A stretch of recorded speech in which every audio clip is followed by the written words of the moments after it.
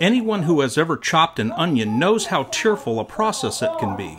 Only I've chopped onions without setting Thanks to a tip from my sister in law Ellen, I now chop onions without shedding a single tear. my heart's content. I simply put on snorkeling gear and chop to my heart's content. Onions gotta do as it does me. So if chopping onions bothers you like it does me, grab your snorkeling gear before you head to the kitchen. There we go.